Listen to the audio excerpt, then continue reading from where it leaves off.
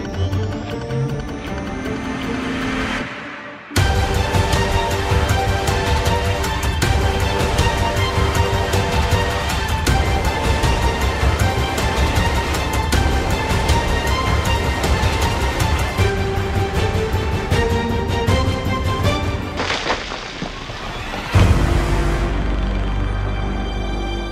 Večer, draga gledateljice gledatelji. Evo nas u novoj klopci, a kao što ste mogli vidjeti na Brod portalu i na Facebook stranici emisije, večerašnja tema su dokumentarni filmovi. Nekako je logično jer ćemo e, tjedan dana kasnije, odnosno sljedećeg utorka, pustiti dokumentarni film Strah od nepoznatog e, naše e, suradnice, kolegice Olje Terzić, Inače, osobe odgovorne za ankete i priloge koje vidite u emisiji, pa samim time imamo i moralnu dužnost, a i dužnost da nas neko ne proganja po hodnicima, da je pustimo njezin dokumentarac koji sam imao prilike gledati i moram priznati da je riječ o prilično dobrom dokumentarcu kažem, e, dosta sam ovako kritičan inače, ali ovo je bilo stvarno dobro i nećete požaliti ukoliko i sljedećeg utorka u terminu Klopke budete gledali dokumentarni film Strah od nepoznatog. Evo, e, možemo odmah krenuti u temu. E, samim time dokumentarni filmovi su bili logičan izbor za večerašnju emisiju.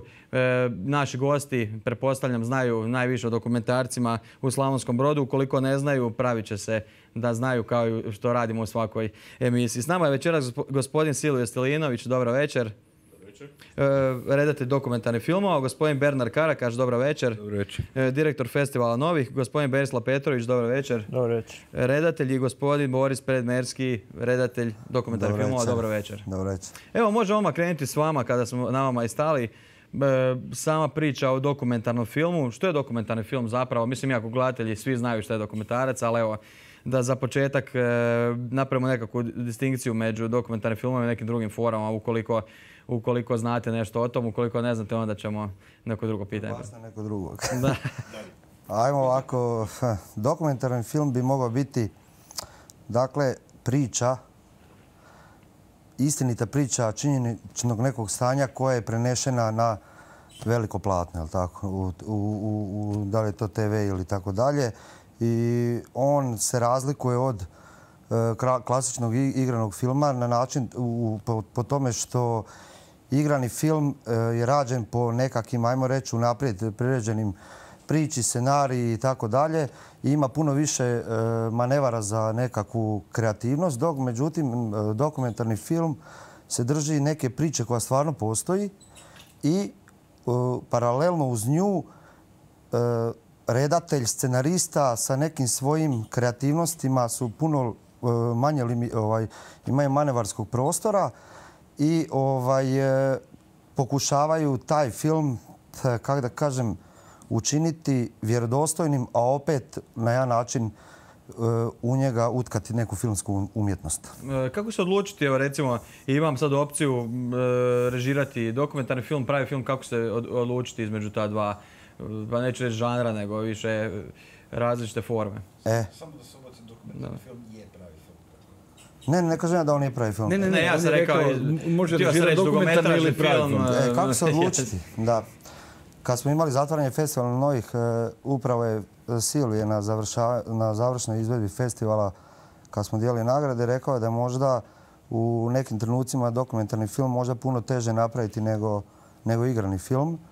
E, u nekim trenucima e, kako se odlučiti na dokumentar film. Morate jednostavno e, e, pronaći priču za njega. Možda mogu nekako onako subjektivno reći, morate imati smisla da ju namirišete. I tek onda, morate imati to u sobi i želju jednu veliku i tek onda kreću sve one operativne radnje koje su potrebne da bi on došao do svoga kraja, do izvedu, jel tako? A reću jedan primjer samo najsvježiji po sebi. Nedavno smo sjedili na kavi kad je bio festival novih i Starčevića ulica je bila prazna, tako? I prolazilo je e, četiri klinica od nekih 10-11 godina e, koji uoče nisu međusobno komunicirali, nego su držali smartfonove i lovili pokemone po ulici. E, neki ljudi će to pogledati i reći vidi klinci love pokemone, no međutim meni nešto palo odmah u glavu neka ideja, rekao vi, ovo je bilo fora za dokumentarni film, čak mi ime palo na pamet, zvao, bi se, ovaj, mora skupiti sve, koji se bavi tom temom pokemomanijom i šta ja znam i tako dalje. Znači, teško reći kako se odlučiti. Jednostavno, to treba željeti, imati u sebi i tražiti priču. Jel? E, evo, gospodin Karakaš, možete se nadovezati. Dakle, htio sam reći dugometražni, pa sam se ispravio i onda sam se sjetio da bi mogao reći igrani film. Da, to je u redu, ok. inače, e, dokumentarni film definitivno je pravi film koji je, kao što je kolega rekao, teže napraviti od, od igranog filma cjelovečernjeg. Dakle, dakle, o čemu se radi? Uh, vi kod snimanja igranog filma, dakle, imate pod kontrolom sve. Uzmete scenarij, napravi se točno dijalog ko će šta govoriti u kojem trenutku, kojim putem će ići priča, koji će kadrovi biti, kako će izgledati i tako dalje.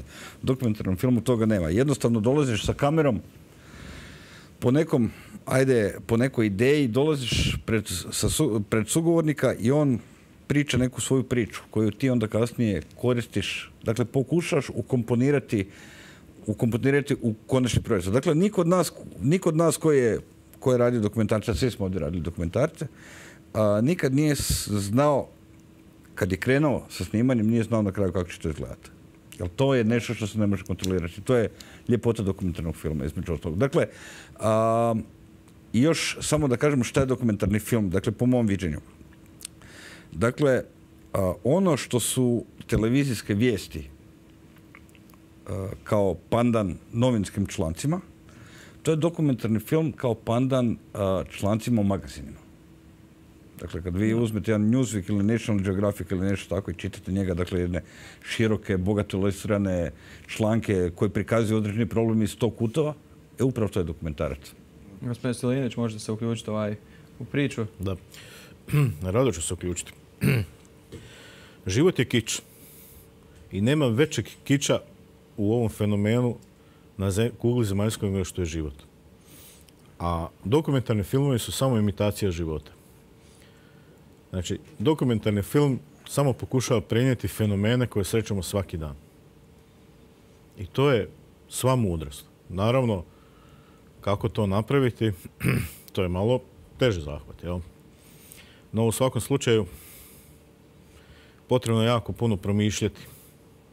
Pa je onome što izgleda tako najbezazlenije na svijetu, kad, kad gledatelj gleda dokumentarni film, znate, najveća, najveće priznanje dokumentaristov je ono, pa da, pa to znamo, pa ovo smo vidjeli, pa, pa da, pa mislim, zašto ići tražiti ovaj, nekakve teme koje su izvan nas? Ja imam dvije teme, ovaj, sad to ćemo vidjeti, moramo još pregovarati oko honorara. koje su toliko, ovaj, toliko životne i jednostavne ovdje u ovom našem Slavonskom brodu, a od njih se može napraviti zaista jedan fenomen koji će svako moći pogledati. Znate, nije problem napraviti dokumentarni film o nečem što, što je ovdje u, ne znam, evo, dakle govorimo konkretno, što je ovdje u Slavonskom brodu. Zato što sve što ti spomeneš, pa ovo je premali grad. Mi sve znamo o svemu. Problem je napraviti dokumentarni film u Slavonskom rodu, a da ga one u Dubrovniku i u Rimu isto razumije. I da razumiju taj fenomen koji ti želiš pokazati. Problem je napraviti dokumentarni film o Zorki, a da ga zna, da shvate ljudi u Beču, u Pragu, tko je to i zašto je ona zaslužila, recimo, e, gledateljima samo možda pojašnjenje Zorka je maca Maradona. Jel? Ovaj, zašto je ona zaslužila biti temom nekog dokumentarnog filma. Ja, gospodin Petrović, pitat ću vas, nažalost, kod nas je sve iskriveno, pa tako i umjetnosti. Prva stavka kada se odlučujete realizirati dokumentarni film će biti odakle ti pare. Dakle, da se niko ne pita zapravo kolika je tu, e, koliko je tu truda uloženo, koliko je to kreativnosti uloženo, nego svi više manje gledaju te isključivo e, nekakav pa financijski spektar, iako on većinom nekako izostane. Jel? Pa istina, e, dokumentarci su vrlo nezahvalni po tom pitanju jer većinom, u većini slučaja nisu komercijalni. Ali opet ima tema koje, koje se mogu obraditi na određeni način da opet, ha neću reći da budu komercijalne, ali da budu e, zanimljivi široj masi. Mi kad kažemo dokumentarac, većina ljudi pomisli, ne znam, na BBC-eve dokumentarce. Ali to ne mora biti to. Ovaj, dokumentarac može biti istovremeno i zabavan i poučan i, i, cijeli jedan vrtlog osjećaja se može u jednom dokumentarcu ovaj, naći, pogotovo kada se priča a u dokumentarcima se uvijek priča o konkretnim stvarima, o konkretnim ljudima. Tako da, ono što je Silio rekao, to su neke životne teme koje, evo sa zadnjim dokumentarcem mogu stvarno potvrditi da od, od suza do smijeha baš je veliki raspon e, osjećaj kad radiš e, o nekome, o nečemu. Evo, gospodin Karakaš, možda ne bi imali današnju emisiju, pa mislim sigurno ne bi imali da nema festivala novih. Odakle ta ideja, kako je uopće, ajmo reći, nastala čita priča? A, dakle, cijela priča oko festivala novih vrti, se oko tri čovjeka. Dakle, tu sam ja, tu je kolega Predmerski i naš kolega Saša Karić koji jedini nije trenutno ovdje u studiju. Da, I ispričao se, rekao da nije baš za javne nastupe. I ovim putem ga mi toplo pozdravljamo, jel svi naravno sale, drž se. Ovaj, e, pa ništa, jednostavno e, mi smo bili na nekim festivalima, vidjeli smo neke festivale dokumentarnog filma i jednostavno bila ideja kako bi to bilo super, super dobro prenijeti u brod. Dakle, napraviti nešto slično. Onda smo kontaktirali, dakle, prvi put, to je bilo prije šest, šest malo više od šest godina, uh, onda smo kontaktirali, dakle, ekipu sa Mediterranean Film Festivala s kojima smo mi ovako, ajde, privatno frendovi i tako dalje. I budući da nismo, ajde, išli, naravno, odmah osnijati festival, jer ne znaš u, principu ni kako se to radi, ali to je vrlo velika logistika i za toga stoji. I sad smo mi osnovali, dakle, pokrenut ćemo Mediterranean Film Festival, kažu oni nema problema, o, retrospektivu, da će oni nama filmove, pokažemo mi par filmova. Wow, kako je to ono, dobro bilo. Idemo mi osnovati svoj festival, jel, dakle, nakon toga smo krenuli. Nakon prve retrospektive. Nakon prve retrospektive i onako redom se to počelo graditi, onda nas, onda nas je i HAVC uvrstio, dakle Hrvatski audiovizualni centar, nakon nekog vremena nas uvrstio u svoj popis, pa onda su nam počeli dolaziti izvana filmaši, pa smo čak i organizirali školu filma gdje su dolazili profesori sa Filmske akademije Los Angeles. Uglavnom to je ono sad na veliko, na veliko otišlo s tim da ja iskreno rečeno ja nisam vjerovao da će, na početku, jel, dakle nisam uopće razmišljao da bi to moglo ići tako, tako daleko. A sad, sad tu više nema nas, jel, mislim, to je, to... Evo, evo izuzev tog nekog osobnog zadovoljstva i kreativnosti, vi ste pokrenuli, baš spomenuli ste radionice, napravo ste jedan motivacijski generator za brođane, odnosno interes u samom e, brodu i okolici za snimanje dokumentarnih filmova, naravno i za neke druge e, oblike umjetnosti. Pa me zanima ono kako stojite recimo e, logistički iza novih autora, postoje li upiti E, oprema recimo neka koja kruži međusobno i slično? Dakle, e, ovako, e, jako velika je produkcija dokumentarac, mislim jako velika. Znatno veća nego što je bila prije. Prije recimo 7-80 godina vi ste imali dva ili tri autora koji su radili u Brodu, to je bio Silvio sa svojim putopisnim dokumentarcima. Ja ne znam da li još neko se pojavljivao. Družbeno, bez vizije. Da, bez vizije, recimo zajednice tehničke kulture i tako dalje. Međutim, sad je već to ono vrlo fino, vrlo ozbiljno. Svake godine 3-4 vrlo ozbiljna dokumentarca se pojavi, to je između ostalog i produkcija SBTV-a i tako dalje. Ovaj, što se nas tiče, dakle, mi organiziramo školu filma. Ali mi povremeno i snimamo svoje dokumentarce, baš prema jedan dokumentarac u 108. brigadi. Ali isto tako mi smo djelomično opremljeni, dakle mi imamo i kamere i sustave zvuka i projekcijska platna, projektori i tako dalje i tako dalje. Ako je neko spreman, dakle nešto, ako ima neki ozbiljni projekt netko, nije uopće problem, može nam se uvijek obratiti ako ima neku ideju za snimanje svog dokumentarca i tako dalje, može nam se obratiti, pa ćemo vidjeti na koji način možemo, možemo pomoći. Nikad nije to, nije, to nije bilo nikad sporno. Gospodine Predmerski, vjerojatno je u cijeloj priči dosta ovako donosi, ajmo reći, vama motivacije dojmovi gostiju. Imali ste posebne goste, uvijek se e, rotiraju određeni gosti. Vidjeli smo neke evo, na premijeri baš dokumentarca Strah od nepoznatog, pa ovako popunjenu, full popunjenu dvoranu što je za brodske prilike odlično. Da. Pričao sam sa e, kolegicom Imrešković i kažem da ovaj, e, mislim da je autoru dokumentarnog filma najveća nagrada i spozna da je uspio, jer Olja imala i tremu tu noć. Da, evo, da se gledateljima ispričam, Olje nema u studiju. Da. Zašto nema? E, obratite se na Olja Terzić na Facebooku i pitajte nju osobno u inbox. ovaj, ona je imala tremu, ali u konačnici kad vidiš da se dvorana e, da je puna, da su sva sjedeća mjesta puna i stojeće i tako dalje, da je puno došlo ljudi pogledati taj film i iskazalo zanimanje za taj uradak. Mislim da to puno govori za autoru ovaj, o samom filmu i uratku koji se meni inače stvarno svidio.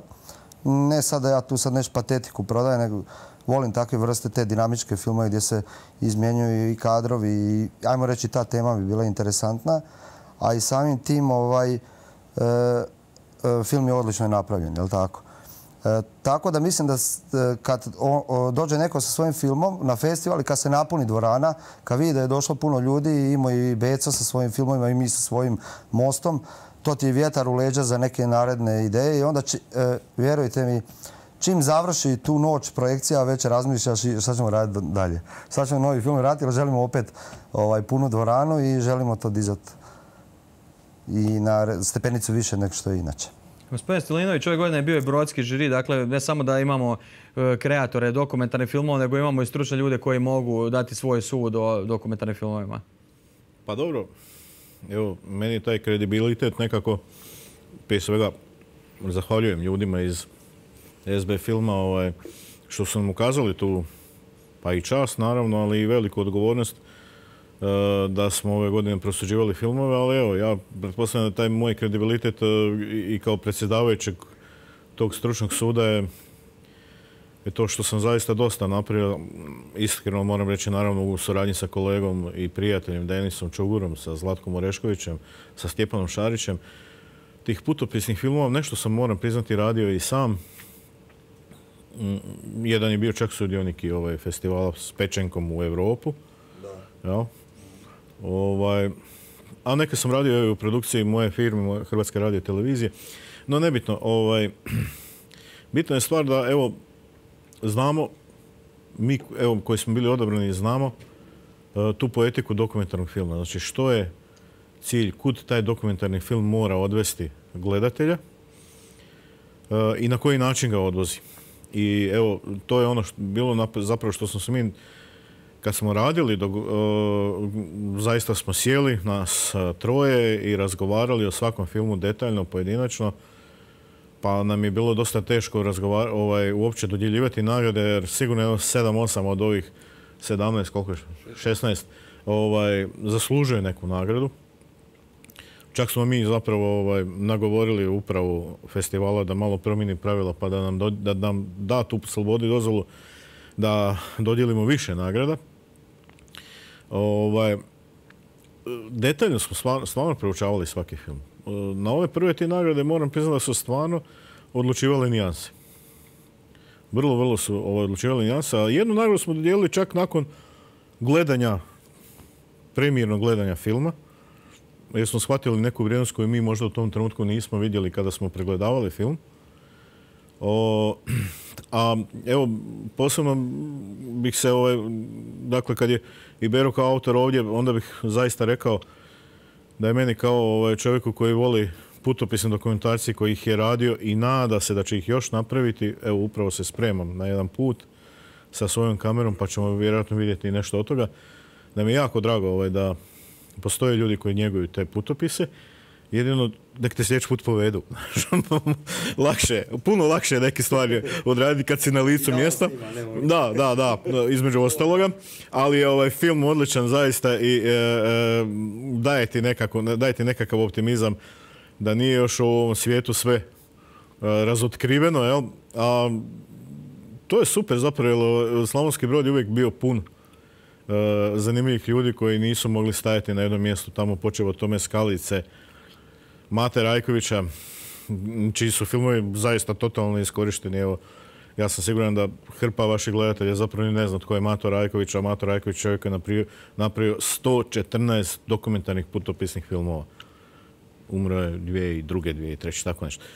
E, tako da, ovaj, ovdje, nekak, ovdje leže nekakav duh, nešto valjda nas tjera ovaj, da, da idemo iz ovog broda i da se skitamo po svijetu i da napravimo neki putopisni film, naravno i da se odmah vratimo u taj brod.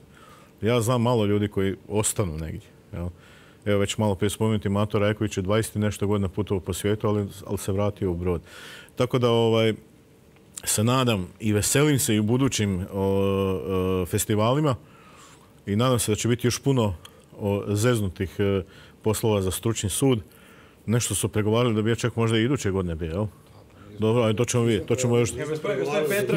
Da ne da pričamo o nekom e, dokumentarcu koji je tamo negdje iznad nas, a ne znamo o čem se radi, možete ispričati.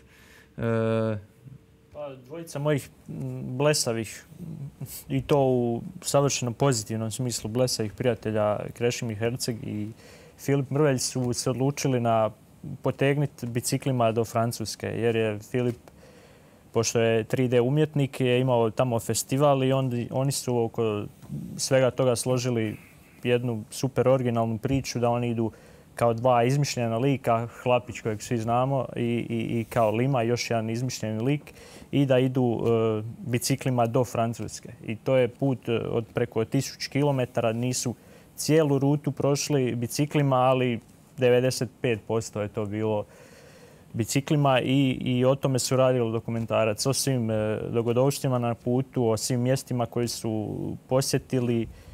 I mislim da je to stvarno bila jedna promocija i biciklizma i ovog kraja i, i pogotovo Ivane Brlić-Mažuranić jer su e, na taj put išli sa karakterističnim kapama ko što imao Hlapić i, i tako su na neki način privlačili ljude da im prilaze, da ih ispituju o tome. e, dokumentarac se može pogledati gdje? Evo. E, Na YouTube-u e, dokumentarac se zove Bike Adventures of Hlapić and Lima, znači e, e, na engleskom jeziku, ali odmah će, ovaj, čim se upiše prvi nalaz, e, to je taj film, traje sat vremena i, i nosi po meni možda najbitniji, najbitnija vrijednost filma je neka pozitivna poruka oko svega toga i, i, i poruka je zapravo da dobri ljudi i dalje postoje, a to je na tragu e, nečega o, čemu je pisala e, Ivana Brlić-Mažuranić.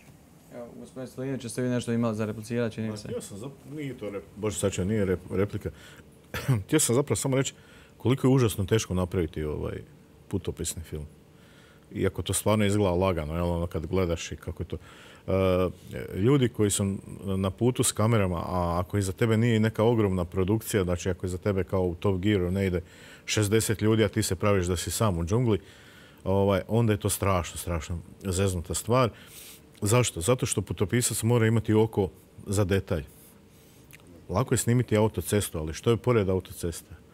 Ovaj, e, to je ono što je zanimljivo. Autocestu svi, nekad je neko išao prema Veneciji ili nije, ovaj, ali međutim, znaš, uočiti sitnicu koja je negdje pored, koja će ti ispričati cijelu priču, to je strašno dobro napravljeno u ovom filmu, ovaj, moram priznati, te ljudi, e, taj osjećaj trenutka, znaš, uhvatio sam nekog čovjeka, ajmo, ajmo s njim malo e, popričati. Nama se recimo to kad smo putovali po svijetu jako puno događalo po Sahari, gdje su ljudi ovaj, zaista srdačni i otvoreni. I onda problem putopisnog, problem svakog dokumentarnog filma, pogotovo autora je e, kritični odnos prema sebi samome. Zato što si jako zaljubljen ono što napraviš, jer si ti to napravio, pogotovo kad govorimo o putopisnom filmu, jer si to proputovao, te, tebi je sve jasno, ali gledatelju nije jasno. I sad taj kritički odnos, što je ono što nam zapravo ne treba. Ti misliš što je, to je sad najbitnija stvar na svijetu. A onda kad gledaš u konačnici cijeli film, "Jo, bože, što je tu negdje nek... Nešto tu ne štima, nešto je dosadno. Znači, ovaj, ima dva su osnovna problema. Ovaj. Uopće naći temu, uočiti temu i naravno onda biti kritički, imati kritički odnos prema toj temu u dokumentarnom filmu. Jer bez tog kritičkog odnosa nema dokumentarnog filma. Pogubit ćete se. Gospodin Karakaš, e, tu sam si naznačio brodski bazen autora, postoji li tako nešto? Da, sad naravno da postoji. Mislim definitivno. Vi kad imate, dakle kad svake godine imate pet jako dobrih dokumentaraca koji su stvoreni u brodu, mislim, mi više nemamo o čemu šta pričati, to je, to je vrlo jasno. Dakle, imate cijelu, cijelu jednu uh, mladu generaciju autora koji sada već počinju izbacivati sve, sve bolje sve bolje filmove i to ono cijeli cijeli spektar, dakle, imate ono filmova koji se, koji se, dakle, tipa od onog što radi Mladen Damjanović i njegova ekipa bez vizije, dakle, on okuplja klince u zajednici tehničke kulture gdje snimaju i to jako dobre filmove, kratke filmove, dokumentarne tipa 10-15 minuta koji dobivaju nagrade preko evo ekipe koja radi sa oko- Beri Petrović u krajnjem slučaju, pa onda ekipa sa SBTV-a koja doista stvara dobre stvari, cijeli niz drugih autora. U krajnjem slučaju i mi. Ima muže. Dobro, to nisu, to nisu dokumentarci, to je nešto drugo, ali je film. Dakle, film definitivno definitivno je zaživio. Dakle, da, Mužeć je dobio zlatnu motorku, jel, čini mi se, prije nekog vremena. Da, da. Uglavnom, definitivno ne može se reći da je, da je brod u filmskom smislu mrtav. Da, pač. Mislim da je bila čak jedna emisija o filmu i tad sam gledao koji iz broda, mislim da je i redatelj Sudar, da je oni su iz broda, koliko se Da, mislim da je, da. Da. Ovo ima, ima ih još. Ima ih još, da. Da. E, sljedeće, kada smo već spomenuli brodski bazen autora, koji su, evo, gospodine Premerski, koji su filmovi vezani uz brod ovako, osim mosta recimo, i nije riječ o ovom mostu, nego o Savskom mostu. Koji su brodski filmovi? da. Dakle, e, nećemo onda. E, mi smo radili od rock and roll, ajde nas ćemo na kraju. E, uzeo bi, dakle, apsolutno putopisne filmove od, od Silvija. Neke sam ja stavio na YouTube, on to još ni ne zna, sad je saznao. Zašto su mi super. Be, Becini filmove, dakle, evo, radio je na Hlapiću Limi, 50 godina, dakle, harmonikaške rapsodije o Beli Panti. E, imamo Družine bez vizija, što je e, Bernard e, e, malo prije napomenuo na njih. Oni imaju niz filmova gdje su posvajali nagrade na nekim festivalima u Hrvatskoj. Imamo dva filma u produkciji SBTV-a, je tako sad, ovaj i prošle godine, bar na festivalu što su bili. Imamo, dakle, igranog filma Hrvoja Muževića, dakle, ja sad to govorim o filmu, i spomenuli ste malo prije jedno pitanje kad bi ljudi htjeli, je li festival Novi vjetar u leđa, prvu noć otvaranja festivala je jedan dečko došao do mene i bio je baš na pro- projekciji filma Strah od nepoznatog i kao rekao, nije to strašno snimiti dokumentarni film, on ima nekih ideja, ima čak i priču, on bi to išao snimat sa prijateljima vamo tamo, jer mi možemo njima pomoći. Ja sam rekao, nema problema od kamere do svega šta god treba da pače i bit ćete na da? Dakle, jel, sam festival novi je poligon da se, da se naši lokalni filmovi jel da, puste u javnost i, da ljudi budu upoznati s njima. Dakle, ja sam samo neke... Na, e, sjetio se, mi smo davno, da ne bude sad bilo da ništa u Brodu, nije bio, bio onaj Be- Be Shorts Org, to je bio festival kratkih filmova, ili tako nešto, mobilnih u Brodu koji nije eto, živio jedno vrijeme pa je ugašen, ali cijelo vrijeme je to nekako tinjalo. Sad onako sa nekim punim pravom mogu reći da je to u Brodu zadnjih dvije godine doživjelo neku buktinju i vjerujem čvrsto da će se kroz određeno vrijeme pojaviti novih autora. Gospodin Petrović, e, sad evo, e, čuli smo da gledatelji očito žele snimati e, dokumentarne filmove. E, Prva stvar, pitao sam vas malo, pripitam sad opet, sad, neću gledati zaradu od samog filma, nekako izfinancirati sam dokumentarac. Evo, gospodin Karakaš je spomenuo Havc, tu su neki vjerojatno sponzori, ne znam, lokalna uprava, ne znam kako to već ide, pitam evo konkretno vas, ili je to sve više manje na entuzijazmu, jer kod nas evo recimo primjer fundraising kampanja, ne znam baš da funkcionira nešto pretjerano. Najviše entuzijazam. Naravno, eh, Herceg i, i Fića, oni su to isfinancirali i put, i, pa i snimanje, i, to jest moje montiranje filma, ali to je to nisu naravno veliki iznosi jer dokumentarac eh, nije, nešto komercijalan, ali, ali taj entuzijazam nas stvarno gura naprijed i, i moram reći da i, ovom prilikom pohvaliti festival novih jer e, stvarno prikazivati ovaj moj film na velikom platnu je uvijek onako čast i, i, i, i, lijepo je vidjeti svoj film na velikom platnu jer on je zapravo i barem ja tako mislim namijenjen za veliko platno. A druga stvar, e, radionica festivala novih, ja sam polazio na, na dvije ili tri radionice i moram reći da sam naučio puno jer, jer predavači su stvarno ljudi koji, koji znaju svoj posao i, čak i, i, svjetski poznati. A imali smo i, i neke, ajmo reći, regionalno poznate likove koji su predavali i, to je stvarno bio jedan vjetar u leđa e, nama, a vjerujem i svima koji se bave ili misle baviti filmom. Gospodin Stojinović, gdje, e, sad ću napraviti nekakve omjere, gdje slavonsko-brodski dokumentarci stoje naspram hrvatskih, a gdje je hrvatski naspram recimo svjetskih? E, Prva asocijacija s dokumentarne filmove vjerovatno nije kao što je gospodin Premerski rekao BBC, nego Đelo Hadžiselimović. Dobro, Đelo je u zadnje vrijeme evo, većini ljudi bio poznat upravo zbog, eh, tog odabiranja, jel? Zato što je radio takve redakcije. Međutim, Đelo Hadži Selimović je jedan veliki novinar, autor, e, izvanredan e, e, redatelj zabavnog i glazbenih programa. Međutim, rado ću, vam to reći, naime, ovaj, govorimo o ovome što znam, a znam najviše o Hrvatskoj radio televiziji, znači tvrtke u kojoj ja radim. Ti su dokumentarci svjetska razina. Nekoliko dokumentarnih serijala je sad završilo na najpoznatijim dokumentarnim ovaj, kanalima ovog trenutka, ne znam, kao što je History Channel, kao što je Viasat i ima ih dosta. a recimo, meni je jako bilo drago i zanimljivo što je jedan od tih izvanrednih vrhunskih autora imao na ovogodišnjem festivalu tri filma, jel? Govorimo o Davoru Boriću, e, čovjeku koji zaista ima jedan veliki ugled i u Hrvatskoj, a i u svijetu, posebice u prostoru nekakvog etno dokumentarca, etnografije, što je ovdje i pokazao, jer govorio je o običajima Uskrsa na, u Komiži, govorio je o e, e, jednoj legendi koja je između koja je još uvijek prijepor između Slovenije i Hrvatske. To valjda sve prijepor između Slovenije i Hrvatske izgleda. Ovaj, e, na kraju krajeva dobije nagradu za taj film. Znači, naši autori pojavili se tu, pojavili su se tu i ovi dvoje mladih, jel, na e, hudo vreme, mislim, na taj film. mlada dama je danas u Briselu, a film koji je snimljen sa dvije poluamaterske, poluprofesionalne kamere, Eh, iza njega su stale nekoliko vrlo značajnih francuskih produkcijskih kuća.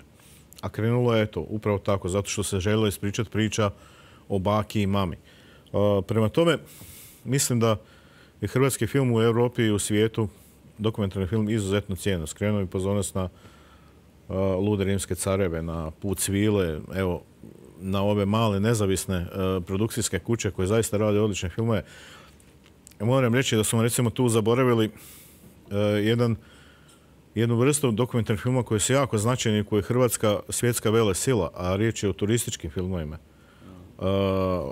Želimir Belić, redatelj iz Zagreba, ima nagradu za najbolji svjetski, najbolji e, turistički film na svijetu, dodijeljena prije dvije godine u Sao Paulo, dakle to je Pandan Oscar, jel? priča o Dubrovniku. e sad, kad dolazimo do uh, Slavonskog broda, ne treba zanemariti tu povijest. Bilo je tu odličnih uh, ljudi koji su znali ispričati priče kamerama, možda ne u dokumentarnom smislu, ali zaista je bilo odličnih uh, autora, odličnih ljudi koji su imali smisla za to, ali nekako mi se ipak čini da je ovih zadnjih nekih deseta godina zapravo nekakav bum i uzlet. I vjerojatno zato što su klinci spoznali što sve kamera može zahvaljujući vama, zahvaljujući Mladenu Damjanoviću i, i tehničkoj kulturi. A evo nekako si umišljam da su neke stvari kopirali i od nas, barem u nekim filmima koje sam ja vidio, e, vide se neki tačevi, neke ruke koje smo mi ovaj, uspostavili e, tim našim putopisnim filmima. To je vrsta putopisnog filma koja ima naziv Middle of the Road. Znači, ovaj, film sa ceste, kao što je na kraju krajeva i ovaj film koji ste, koji vi radili, uh, vas trojica. Mislim da im treba još dati malo vjetra u leđa.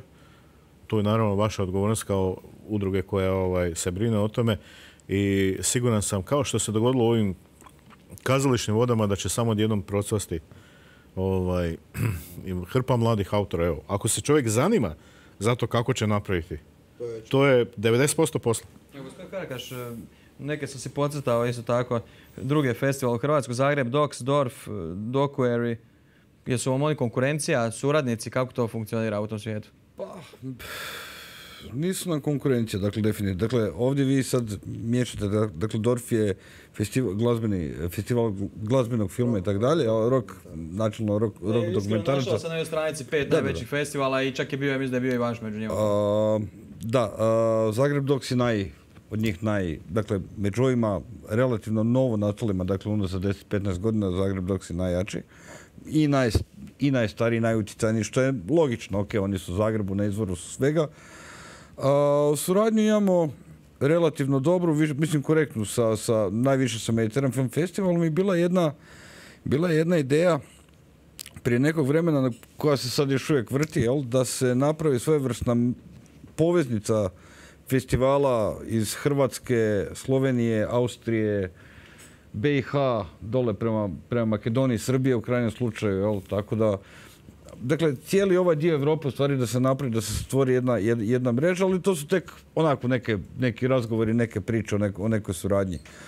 u principu svaki festival je sam za sebe, ali naravno da smo uvijek otvoreni za, za bilo kakve kontakte, za bilo koju suradnju koju u krajnjem slučaju imamo sa, sa kolegama, ali ništa to nije čvrsto, to je vrlo, vrlo ležerno vezano. Gospodin Premeski, kada recimo neki od autora koji kod vas bude na festivalu odluči poslati na neki drugi festival ili na neki svjetski festival, kako to zapravo izgleda ovako? Mora li on sam to slati, ima nekakvu podršku od nekoga ili je to čisto onako preko maila, dogovori? E, dakle, autor koji bude Autor koji bude kod vas, ili imate nekako prava da e, vi to samo prikazujete ili kako to ide? Ne, mi samo, dakle imamo pravo, on kad prijavi autor film, on dakle sam daje pravo da se kod nas prijavljuje na festival. Možda nisam dobro shvatio pitanje, a sve dalje, dakle festivale on prijavljuje samo inicijativno, on je vlasnik filma, producent. Da, pitanje je to, a pitanje je i kako izgleda prijavljivanje dokumentarca, možda malo da pojednostavimo. Kod nas izgleda vrlo jednostavno. Dakle, online aplikacijom on se prijavljuje, daje sve svoje podatke, redatelj, producent i tako dalje. I ovaj, i nakon filtriranja, ove godine smo imali 207, 207 e, prijava. Pogledali ste sve, niste? Pa, ne, ja nisam sve pogledao, ali smo zajedno. I onda smo odlučili koji će biti i onda dalje ide na žiri, jel da? A u svakom slučaju mi kao festival ne utječemo na to ko će se gdje prijaviti ili ne, jel tako? Gospodin Petrović, Jesam dobro shvatio pitanje. Jeste vi pokušali ovaj neke druge? E, Kako je situacija? Ne, ja sam ostao vjeran na festival novih. Samo festival. Uglavnom je ovaj, e, stvar produkcijske kuće koja stoji iza filma, jel, kuće i kako će i odabire put filma, osim naravno nekih neovisnih produkcija. Ovaj, svako ima pravo pokušati i probati. Ali e, uglavnom su te prijave vrlo jednostavne, jednostavna situacija. Puno je teže doći u završnicu festivala kao što je na kraju krajeva teško doći u završnicu festivala novih. Ja, ja ih sad ovdje oba dvojicu ozbiljno prozivam da su me navukli na tanak led jer su rekli ima samo 16 filmova, na što sam rekao pop super, ali nisu rekli da ima 16 filmova kojih ja uopće ne znam kako, sam, kako smo uspjeli odabrati ovaj najbolje, jer su zaista izvanredni filmovi. Pa evo sad gledajte, kad, kad morate pogledati 16 filmova od kojih je najkraći 20 minuta. Ima reći koji su filmovi e, dobili nagrade, mhm. koji su kandidirali, malo onako i o čem se radi zapravo. Da, pa sad, sad ja ne znam da ću baš znati točno ovaj nazive, ali evo, ovaj uh, putopisni film koji, koji smo već spomenuli o putovanju uh, Krešmira Hercega i Filipa Mrvelja po dobrom dijelu Europe dobije jedno naše posebno priznanje. To je kompletan film, zaista, zaista nam se svidio i ovo priznanje je samo nekakav poticaj da, da takvih filmova trebaju, taj autorski trojac treba još više raditi, samo nek povedu čovjeka na put. Zašto uvijek, je, problem novca, tako da, ali u budućnosti e, planiram i ja s njima ići i to će biti malo čak i egzotičnije lokacije od, od, od Italije i Francuske. Da, to vam ja želim zaista. E, druga obitelj e, gospodina Jurilja je dobila evo, naše posebno priznanje za humani odnos. E, zaista jedan dirljivi film o, ljudima, obiteljima koji imaju bolesnu djecu, o ljudima koji im pomažu. A onda evo ova ta tri koja smo proglasili najboljima, jedan je dakle taj legenda o Veroniki e, Desinički, to, dakle autora Davora Borića, da, autora Davora Borića s Hrvatske radio televizije. E, drugi je Hudo vreme, e, jedan nezavisni film koji evo zaista nas je dirnuo svojom toplinom, svojim očajem, svojim naturalizmom, svojim kičem, a već sam malo prije rekao da je dokumentarni film, ne postoji kičastijeg filma od dokumentarnog filma zato što govori o životu a nema nešto, ono što vam život može složiti, ovo ne može ni jedan umjetnik ovaj, e, bilo koje vrste složiti. I ovaj, e, stručni sud je proglasio najboljim film e, ja mogu da govorim, dakle, sarajevski autor, pomozi mi, Skenderagić, Mirza Skenderagić, koji je bio na dodjeli, opet priča o nečem što se gotovo svako od nas može reći svaki dan susreće, a zapravo kad si pogledao dokumentarni film shvatio si koliki je to bol, koliki je to problem. Govori, film govori o mucanju. O četiri, pet ljudi koji mucaju i koji se liječe. Neki su uspjeli, a neki nisu. Jedan od glavnih protagonista je danas stalni član Narodnog pozorišta u Sarajevo, glumac koji muca. Sam autor muca. I još ima nekih problema otkrio da snima novi film o još nekim problemima takvim. ali recimo jako je zanimljiva bila rečenica jedne uh, gospođe u srednjim godinama koja je čistačica u školi koja je rekla ja sam danas čistačica, a možda sam mogla biti glumica. Ali muca i dalje. Dakle, nije uspjela izliječiti se. Evo, tako jedna, evo, to je ono što, o čem ja vama pričam. Dakle, tako jedna jednostavna kamera, tako jedna jednostavna priča iz prvog lica da si u jednom trenutku osjetio kao da sjediš među njima. Ovaj, i, i, zajedno s njima pokušaš riješiti njihove probleme, pokušaš recitirati, govoriti, pokušaš s ovim čovjekom upisati akademiju. Ovaj, e, ja sam recimo dok sam gledao film čak probao tu jednu metodu pjevanja, jel, udaranja takta i pjevanja, kako se jel, pokušava liječiti mucanje danas uvedete, znači to je jako bitna stvar. Film te uvuče u svoj svijet. Dokumentarni film je ključna stvar da te uvuče u svoj svijet i da shvatiš ono o čem taj film želi tebi progovoriti. I da sljedeći puta kada sretneš tako nekoga o kom govori dokumentarni film, da shvatiš koliko je tu bola ili sreće sad, ovisi o čem film govori. Gospodin e, možete na to pitanje sigurno odgovoriti. Dakle, mogu li filmovi, odnosno je li u filmovima forma e, bitna, koliko je sadržaj produkcija i slično. E, dakle, mogu preformulirati pitanje da li se mogu naši dokumentarni filmovi potući sa onim najboljima e, naravno određeni dokumentarni filmovi, ne sad baš svaki, jel? Mogu, naravno da mogu. Dokumentarni filmovi, recimo neki od dokumentaraca koje sam ja gledao, su meni osobno bolji od, bolji od ne znam, Spielbergovih ostvarenja nekih ili tako dalje. Tako da dokumentarni film je definitivno umjetnost. A, dakle, on je tehnički nešto, nešto nezahtjevniji, ali evo, mi smo baš razgovarali prije, evo, doslovno prije emisije baš je bila neka priča, ako govorimo o tehničkoj izvedbi filma, Dakle, vi film što se slike tiče, možete, dakle videa što se tiče možete snimiti s bilo čim. Dakle, niko vam neće nikad zamjeriti sliku. Ono što ne možete snimati sa bilo čim i što definitivno mora biti vrhunski izvedeno, to je ton. Dakle, to je nešto što gledatelji ne znaju, ali evo, ti to znaš najbolje, ali isto kao autor. Dakle, vi video možete imati upitne kvalitete, zrnat, ovakav, onakav, ton mora biti besprikorno čist. Dakle, to su sve neke male nijanse na koje, male stvari na koje autori trebaju inače obratiti pažnju kad rade, ljudi to i znaju, jel? Ali to nekom ko gleda sa strane, to, ono, čini mu se da je to najmanji, najmanji problem. Međutim, ne, ono, to je... E, spomenuo se Spielberga. E, Spielberg je napravio jedan dokumentarni film i zove se Shoah i traje 8 sati i govori o holokaustu i nema ni jedne snimke holokausta. U osam sati su sve svjedočenja ljudi koji su preživjeli holokaust. To je vrhunac dokumentarnog filma. Znači, nažalost, e, Spielbergu nije bitna tehnika, nego evo, to je zaista jedna od osoba koja ima nevjerojatan ovaj, potencijal u glavi. Uhvatio se tog šoa, nakon toga je osnovani šoa e, centar u Los Angelesu u kojem su skupljene, skupljene sve priče ljudi koji su preživjeli holokaust. Samo je kamera radila. Znači, to je, to je ključna stvar, to je upravo ovo o čem si ti pričao. Samo je kamera ispričala priču. Evo, gospodine Predmerski, sad pričamo eh, o, jednom, ajmo reći, e, onom prirodnijem e, obliku dokumentarca, no sad u zadnje vrijeme vidimo i čitavu navalu, ne znam, raznih dokumentarnih formi, recimo vlog, videokast, webdocs, to se sve koristi kao jedna podloga za dokumentarne filmove. A, čak i u ovim Oskarovskim filmovima, recimo poput ovoga zadnjega o Amy Winehouse, koristila se baš njezin njezine osobne snimke koje, ajmo reći u ovoj dobi, e, u ovoj eri e, tehnologije sama pohranjivala, ne znam, kroz čitavu svoju karijeru, pa je prilično zanimljivo gledati e, kao podlogu dokumentarnog filma njezin materijal. Da. Ne znam koje je pitanje na kraju, ja sam... ovaj, da komentar da. komentar toga i kako... Ok, evo ovako. Dakle, nema pravila.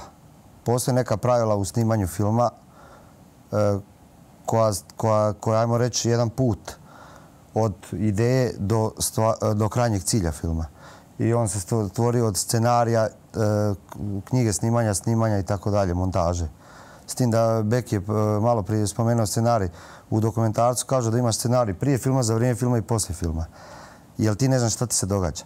A to pravila, e, šta se u podlozi e, koristi ili ne, to pravilo i sama ta pravila koja kao postoje, one više služe ne kao pravila da te vode da ti se njih moraš držati, nego kao alat koji ti pomaže u tvoj izvedbi tvoga filma. Što znači da ti kada radiš film, apsolutno sve što može koristiti u, u tvome filmu, da pače, je dobrodošlo. Pa tako i za Amy Winehouse i, i za njen film i sve to što je stavio. Da, evo zanimljivo e, primjer, e, ne znam kako je, e, dalje malo sam gledao po internetu, dakle u igranom filmu dosta problema imaju oni redatelji koji nisu završili školu pri dodjelu sredstava, dok u dokumentarnom filmu to zapravo ne igra neku prioritiranu ulogu. Ne znam, možda, možda zato kažem vam, napravi dokumentarni film i igrani film imaju samo neke možda sitne e, sličnosti, ali za dokumentarni film moraš imati to nešto, jesi slažiš li? Moraš nešto imati to u sebi, e, kažem ti, moraš napraviti poznat priču i kažem ti, najgore je ako ti kažeš, aha, pravila su taka, e, da bi se napravio film moram raditi tako, tako i tako i doći ovako, idem ja to napraviti. Ne, izađi iz kutije, sagledaj priču i da pače, prekrši pravila napravi onako kako ti želiš, razmišljaj sam sa sobom, razgovaraj, scenarij mijenjaj. Mi smo imali e, jedan primjer uh, koji je pravo mi kad smo radili most, e, pa smo ubacivali 3D animacije i tako dalje. Kako je nastala karta grada u mostu? Šetao sam sa djetetom po Korzu i vidio Brončane, ovaj, onaj grad Brončani, ona izvedba, kalu pola grada već traje. I onako pogledam i to bljesnem i onako šetam i rekao zašto mi ne bi napravili neku zapovjednu sobu, pa bi to bilo ovako, ovako, ovako, pa na kraju cijeli scenarij, a scenarij već bio gotov. A po pravilu se scenarij ne dira. Razumijete? Dakle, e, možda neko ko školski igra, e, nema to veze je on e, završio ili nije, nego više koliko on ima tu svoju dozu kreativnosti u sebi. I koliko je limitiran. Vidim da odobravate, pa evo malo prokomentirate. Kako je vama, kako, kako se kod vas razvio dokumentarni film, s obzirom da, ajmo reći, materijal niste sami snimali? Pa da, to je, to je bio jedan veći problem, ali e, oni su ipak odradili dobar posao. Iako sam ja njih kritizirao i... i, Jeste li im govorili ovako, evo, konkretno, jeste im davali nekakve smjernice, navigirali ih, govorili iz kojeg kuta da snimaju? E, jesam, da, ali... Ne vrijedi.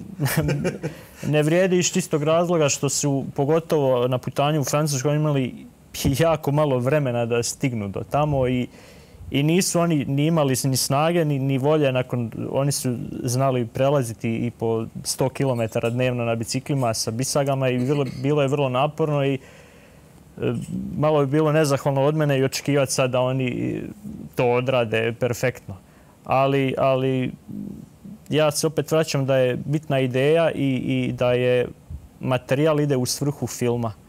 I, i, i što je Beki rekao, ovaj, materijal može biti slika loša, jer mi smo mi tu koristili miks svega sa mobitela, slike sa fotoaparata, slike sa kamere, sa, sa lošeg fičinog fotoaparata, tako da ima, ima svega, ali je bila bitna priča. I, I stvarno taj tehnički dio koliko će slika biti e, neću reći da nije važna, ali, ali stavili smo sebe, to jest e, nas u, u svrhu pričanja priče. Gospodin Stojnjeć, koliko je evo, dokumentarni film naći u svijetu, gledanosti, brojki i čiste statistike, može li se on danas uopće nositi sa, ne znam, reality showima, senzacionalizmom i sličnim stvarima? Dobar film, da. Dobar dokumentarni film bez daljnjega, upravo zato što obrađuje jedan zanimljiv fenomen koji svima nama jako draga, to je život, evo. Pa čak i ako obrađuje smrt, isto je tako drag. Uh, to je tu ovaj problem. Ne bi ja baš tako rezao to uh, ideja, tehnologija ima tu, ne bi se to moralo baš tako samo olako baciti. E, loša tehnologija, loša kamera, e, tebi čak kad slika i nije kvalitetna, ali ako je dobra, ako je zanimljiva, funkcionira. Da, to se da, ali ovaj, ako ti nešto loše tehnološki napravljeno, pa čak i ako je super kvalitetna slika, o, treba, to treba izbjegavati, treba bacati. Zato što dobru ideju sa lošom tehnologijom izrade možeš jako upropastiti. Jel? E, e, zato e, se nadovezujem ovo što, što ste postavili pitanje, e, zato je ključna stvar da se dokumentacije mogu nositi samo ako upravo primjenjuju ovakve nove tehnologije sa tim koje kakvim reality showovima, jel? jer National Geographic stvarno nema problema sa gledateljima. National Geographic otvara dva nova programa. Uh, ti dokumentacije se gledaju jel, strahovito puno, ali koriste užasno skupu tehnologiju. Ali opet nije bitno. Prati trendove. Pa, da, dobro, pa i čak i stvara trendove, ali opet nije bitno. Možeš ti stvoriti trend, ali ako to nekoga ne zanima što se, o čem ti želiš pričati, Džabe ti sve, sve te tehnologije. Znači, ne može se u dokumentarnom filmu isključiti uh, ideja, tehnologija i izvedba. Jel? To, to je jedno, troje, to kao što sam rekao i na zatvaranju ovaj, filmskog festivala, dokumentarni film je uh, otac, sin i duh sveti postoji samo, znači, autor, novinar, snimatelj jel? i montažer. Što na kraju kraja, evo, to sam zaboravio reći, zaboravio sam spomenuti, vaše kolege ovdje na SB televiziji kojim smo dodijelili tu nagradu za montažu filma uh, o, Straho nepoznatog, jel? kojeg smo tek kad smo vidjeli u završnici onako kako je trebao biti na premijeri, onda smo shvatili da je taj dečko zaista odradio fantastičan ovaj, uh, posao i, isto tako evo svi vi koji radite dokumentarno znate da je montaža jedan vrlo opasan posao koje možeš vrlo lako upropastiti sve. Znači, kad imaš to trojedno kraljevstvo u dokumentarnom filmu, onda ga možeš nositi sa bilo čim uh, u, u, današnjem televizijskom svijetu. Uh, vraćam se, ja stalno spominjem tu svoju firmu, jel, Hrvatsko radio televiziju, ali uh, treći program Hrvatske radio televizije sve više i više gledan, jel? A, a vrte stare dokumentarce. Pa ti naši stari autori poput Zvonka Letice i tih mm. ekipa su zvano imali ograničenu tehnologiju, ali su imali čistu sliku. I tom su slikom znali ispričati ono što, što su željeli i ovaj, ti dokumentacije na HRT-u 3 sve više i više gledatelja imaju. Sad smo već pri kraju pa ćemo još jedno pitanje da ćemo prokomentirati ovaj dokumentarac. E, festival novi, kako, mu je, kako ga budućnost čeka, hoće li ostati na, na ovom datumu na kojem je sad ili će se vratiti na prošli? Pa mi šaramo neprestano. U principu mi sve ovo u stvari kroz sve ove godine riktamo jel, da, da dođemo do što boljeg proizvoda, što boljeg festivala i vjerujem da ostajemo. Dakle, već smo definirali za sljedeću godinu da je deveti mjesec.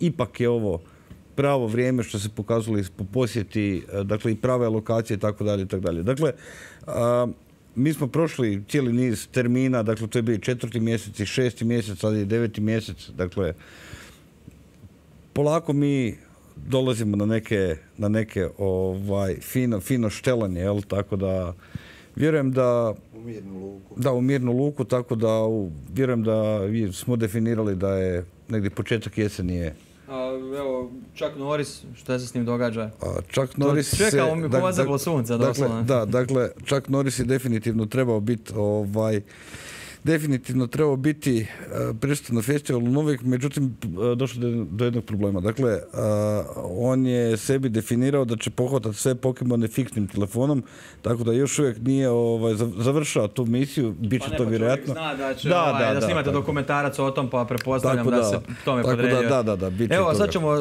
za kraj svako ovaj će dati otprilike nekakve svoje dojmove o dokumentarcu Strahu nepoznatog, pošto ćemo to sljedećeg tjedna gledati u našem programu. Pa evo, e, prije samog kraja, dakle na kraju ćemo pogledati reportažu sa e, premijere, prije i poslije premijere.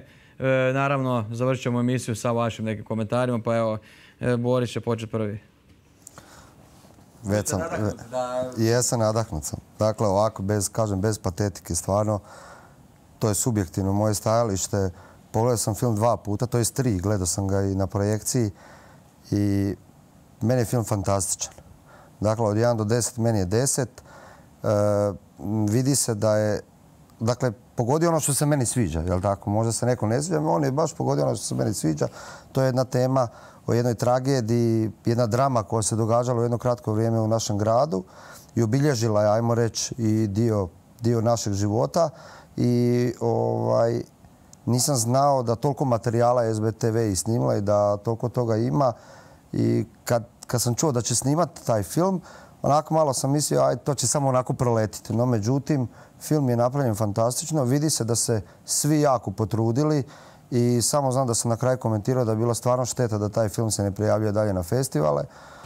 Postoje čak festivali koji se bave takvim tematikama konkretno, pa mislim da bi on prošao i bezobrazno mogu reći da ga treba gurati i ići po nagradu s njim i bio bi presretan zbog toga. I čestitke, dakle, od olje do svih koji su radili na filmu.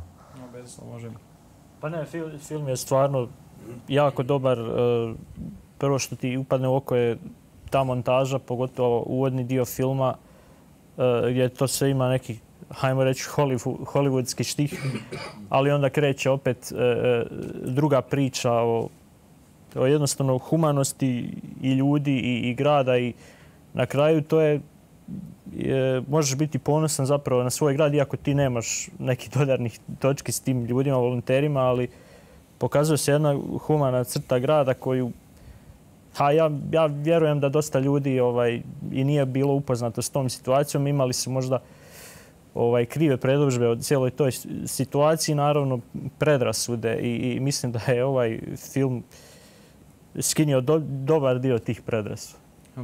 Dakle, ne samo da je film tehnički jako dobro napravljen, određen dakle, po svim pravilima struke, nego on, on ima još jednu dodatnu vrijednost, uh, jer u stvari pokazuje uh, kakve su se ljudske drame odvijale uh, kilometar dva od Korsa.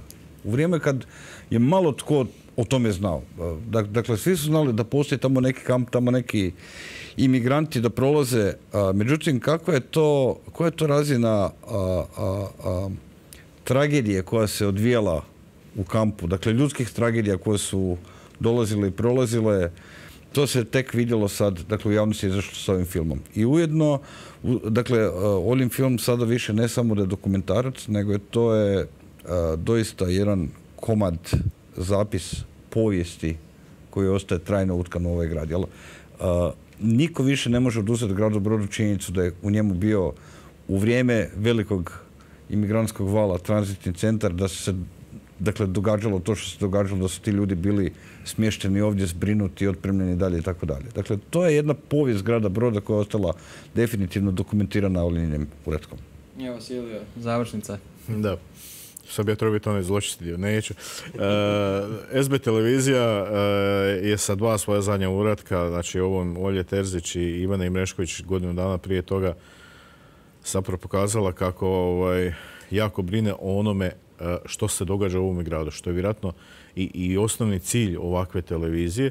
Eh, to su eh, dokumentarne reportaže koje su svjedoci vremena. I ključna stvar i u jednoj i u drugoj reportaži jest da kad neko to pogleda za 50 godina će shvatiti što se događalo u ovome gradu. sitni problemi tehnički to ovdje uopće apsolutno nisu bitna stvar. Apsolutno nisu bitna stvar. Ima sitnica, nebitno. Nećemo, uopće ih ne treba spominjati. Treba samo...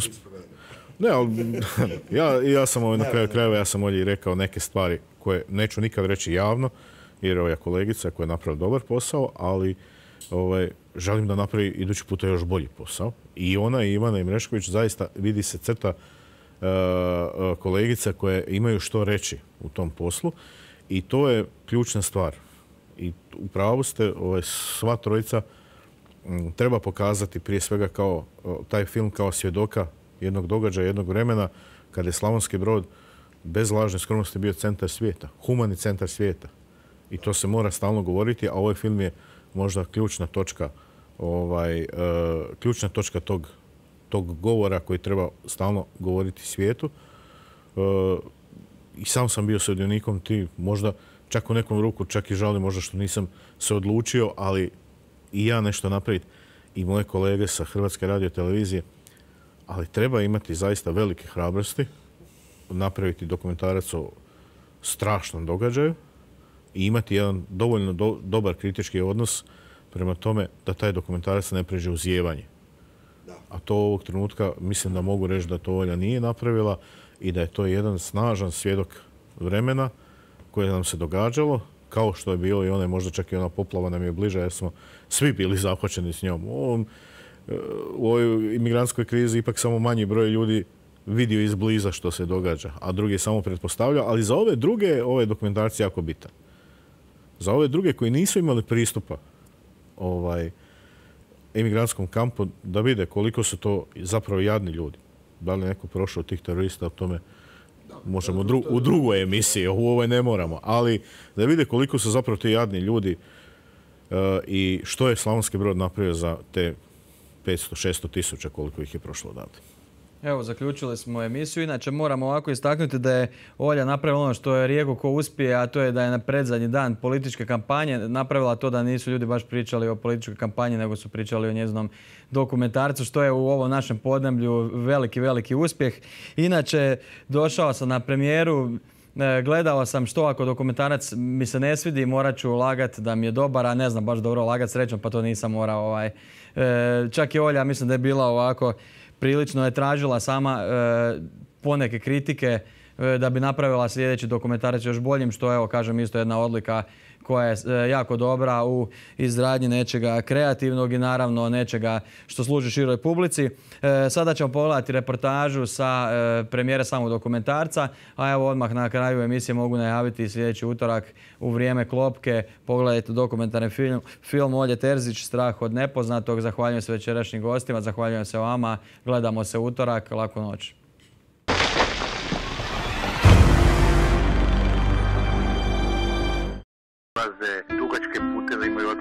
Rane na nogama, provlače se kroz žice, dobivaju ozljede površne. Svi oni prolaze kalvariju. Dakle, to je izuzetno rizičan put gdje oni vuku svoju djecu, svoje obitelji. Strah od nepoznatog. Više od 50 sati materijala sažeto u dokumentarni film. U 55 minuta dokumentarac prati izbjegličku krizu, kronologiju otvaranja prihvatnog centra za izbjeglice u Slavonskom brodu. Priča priču o sudbinama ljudi koji su doslovno u tisućama prolazili kroz kamp svaki dan. Pratila sam to kroz možda četiri mjeseca i onda sam odlučila pa zašto ne bi sav taj arhivski materijal pretočila u jedno dijelo jer ipak e, od domovinskog rata mislim da se nešto ovako nije dogodilo u Hrvatskoj, a kamoli u Slavonskom brodu i zašto nešto tako ne zabilježiti. Veliki pljesak za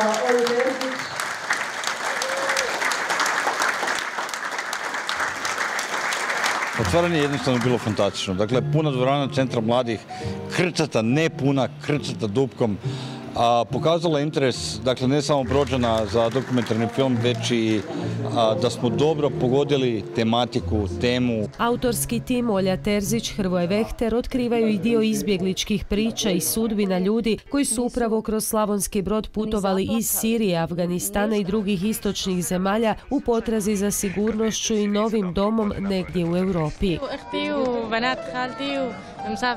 Veliki dio toga događao se daleko od očiju javnosti.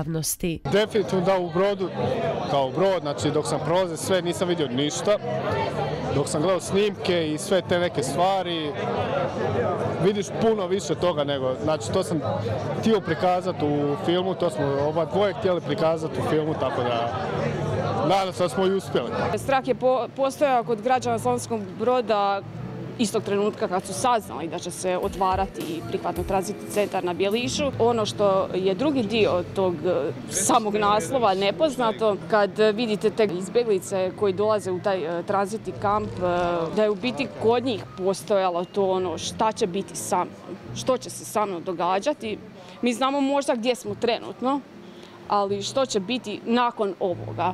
Hoće li njih ta neka Europa prihvatiti ili ne. Možda su oni znali da oni idu u Njemačku, možda su oni znali da idu u Austriju, ali hoće li oni njih prihvatiti?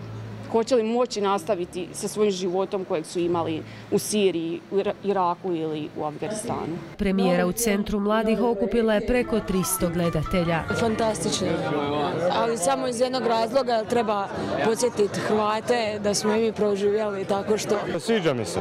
Sviđa mi se, malo je objedinjeno, znači ono što nismo vidjeli. Film je odličan zato što je autorski nije novinarska reportaža i to mi se strašno sviđa. Strah od nepoznatog jedan je od 16 filmova koji će biti prikazani tijekom tri dana festivala. Međunarodni žiri izabrao ih je među 207 pristiglih iz čak 37 zemalja. Odabrao je filmove od Austrije do Grčke, od toga tri Slavonsko-Brodska. 16 filmova koji uh, definitivno uh, dotiču probleme koji se, koji se zbivaju ovdje, kod nas. Dakle, svako od nas, svako od gledatelja može se identificirati sa problemima koji se prikazuju u nekom od ovih dokumentarnih filmova. Jedna od nagrada je nagrada publike, ali stručni sud je napravio ove godine izuzetan posao i mi smo proširili, dakle, na, na, na prijedlog stručnog žirija, mi smo proširili uh, fond nagrada. Dakle, više nije samo nagrada žirija, već tu i druge nagrade, to su posebna priznanja i to je jednostavno uh, izbor filmova. Imali smo sreću da imamo bogatstvo 207 filmova na, na raspolaganju, odnosno š, od kojih se moglo biti izabrano 16 najboljih. Tako da jednostavno više nema mjesta samo za jedno, jednog dobitnika. Dakle, ima a, žirije imao mogućnost u ovom trenutku proširiti na cijeli niz, na, cijeli niz područja, dakle, dodijeliti neka priznanja. Z godine u godine se na festivalu novih se može vidjeti da su naši lokalni filmovi sve više više alociraju ovaj, naš program i što znači da se sa tim festivalom i sa tom kulturnom filmskom u Slavonskom brodu diže na sve više više nivo. E, ne kažem da smo mi krivi za to, ali definitivno smo možda neki vjetar u leđa ljudima, a samim tim i sebi. Tako da dugo nismo, a dugo nismo ovaj, snimili neki svoj film, mi volimo spektakle, tako da smo odlučili snimiti film o 108. brigadi, malo drugčije koncepcije nego što drugi snimaju i to za sljedeću godinu pripremamo i veselimo se tome. Jako izazovan projekt, ali se jako veselimo. Završnica šestog festivala novih uz dodjelu nagrada. Čak sedam primili su autori najboljih dokumentarnih filmova iz pet zemalja. Film Strah od nepoznatog u produkciji Slavonsko-Brodske televizije nagrađen je čak dvije nagrade. Film Olja Terzić i Hrvoja Vehtere osvojio nagradu za najbolji festivalski film po ocjeni publike. Nagradu je primio u kategoriji najbolja montaža dokumentarnog filma. Znači nisu na granici negdje, nego tu u Slavonskom brodu u sredini. Drago mi je što smo dobili dvije nagrade, Hrvoje Vehter, ja ga zovem mozak cijele operacije, stvarno je napravio čudo od filma i jako sam ponosna i njemu predviđam jako svjetlu budućnost u televizijskoj produkciji. Stručni žiri u sastavu Silvio Stilinović, Ivana Imrešković i Mladen Damjanović najboljim filmom ovogodišnjeg festivala proglasio je dokumentarac Ja mogu da govorim, mladog autora Mirze Skenderagića. Prvijenac govori o problemu mucanja, a jedan od protagonista upravo je autor. Tako da nisam stigao da vidim čuveni Maradonin gol protiv Engleske. I u filmu sam ja tu nekako kao, kao poveznica između, između ostalih ljudi koji, znači, uh, koji se uh, isto tako bore sa, sa, sa tim ovaj, problemom na razne načine. Ti ljudi su znači ovaj ljudi koji su mogli imati drugačije, bolje bilo kakve ovaj znači u, u, u bilo u kom smislu različitije ovaj živote nego što imaju sad da nije bilo te govorne mane. Odakle dolazi? Kosmo kuda ide? Koliko jako odjekujemo u svemir? Ja mogu da govorim. Žena tamo kaže, ja sam možda mogla biti pjevačica ili glumica, ali sam čistačica. A s druge strane, u istom filmu se pojavljuje uh, dečko koji je završio kazališnu akademiju u Sarajevu, Amuca. Uh, dakle, taj film koji je evo, pobjednik je samo zapravo jedan vrh ledene sante koji govori tako, možda ove godine više nego ikada do sada, o tako običnim stvarima koje toliko neobično utiču na naš život. Film je dobio nagradu u ovaj Njurku na BHFF-u, uh, isto ova znači glavnu nagradu. Radio sam neke godinu dana, znači film je krenuo od ova radionica preko traženja likova koji bi, koji bi nekako odgovarali, odgovarali, odgovarali priči i taj krug se sveo na likove koji su vezani za ovaj scenu, znači, na, za, za o, o, nastup. javni nastup na ovaj ili onaj način. Uh, I nekako ti likovi su morali ući u, u film, u završnu verziju. Vjerujem da je ova nagrada nešto znači u Slavonskom brodu. Da, naravno, ja sam prvi put u ovaj, Slavonskom brodu, tako da mi je, ovaj, mislim, ostaće mi ovaj, upamćeno po, po ovoj nagradi. I grad, i ekipa festivala, i, i, i, i, i ovaj, uh, znači sve. Drugu nagradu festivala podijelila su dva filma. To je HRT-ova legenda o Veroniki Deseničkoj Davora Borića te Hudo vreme, autobiografija priča Anje Strelec i Tomislave Jugić, koja prati tri generacije obitelji te na realističan i dirljiv način donosi priču o starenju i umiranju. Kad gledam taj film, a gledala sam ga bezbroj puta i bezbroj puta sam je plakala i bila sretna, a sad mi je srce veliko ko sunce, jer sam sretna zbog ove nagrade koju je osvojila autorica moja kćer Anja, i autorica naravno Tomislava Jukić. Film govori o mojoj majci koja nažalost više nije s nama, ali evo živi preko velikog platna. Tanja je u Briselu, živi i radi u Briselu. E, ovo nije prva nagrada koju je sad dobila, ona je dobila nagradu u Grčkoj. E, film plovi dalje, živi dalje, nadam se, nadamo se još sljedećim nagradama, ali zar je bitna nagrada? Bitno je da ljudi prepoznaju ono što želimo reći o tom filmu. Kao što sam rekla, kad sam dobivala nagradu ime moje Anje i od Tomislave, ajmo pomoći tim ljudima koji stare. Prepoznajte majku i oca kad im drhte ruke pomognite im kao što su voljeli oni vas.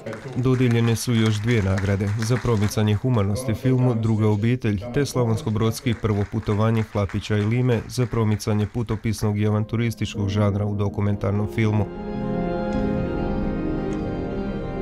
Dodjelom nagrada i službeno je okončano šesto izdanje Međunarodnog festivala dokumentarnog filma u Slavonskom brodu. Pristiglo je dosta filmova, e, neke smo na brzinu pregledali, to se mora priznati, neke smo pomno pogledali i odlučili se koje ćemo ovaj, dati stručnom sudu ovaj, da ih ocijeni. Stručni sud je, ja mislim, do sad najbolje ovaj, ocijenio i stvarno ovakav rad stručnog suda je za pohvaliti. Ova tri dana su pokazala stvarno da, Brod ima šta pokazati u, dokumentarnom filmu i da Brod voli dokumentarni film i definitivno u svim segmentima smo zadovoljni. Dakle, ne samo ja, nego i moji kolege Saša Karić i Boris Primetski koji rade taj festival i u krajnjem slučaju i članovi žirija, dakle bez kojih naravno svega toga ne bi bilo, kao i, kao i u krajnjem slučaju brodska publika koja je osnov zbog čega se sve ovo radi. Ali u svakom slučaju mislim da idemo u jednom dobrom, dobrom, dobrom smjeru i festival Novi 2017. već se počinje pripremati od jučer. Udruga SB Film od retrospektive Mediteran Film Festivala prije šest godina do danas uspjela izgraditi respektabilan kulturni događaj u Slavonskom brodu i to doista međunarodnog karaktera. Svjedoči tome 207 prijavljenih naslova iz 37 zemalja. Tijekom tri dana uživali smo u 17 najboljih odabranih dokumentaraca.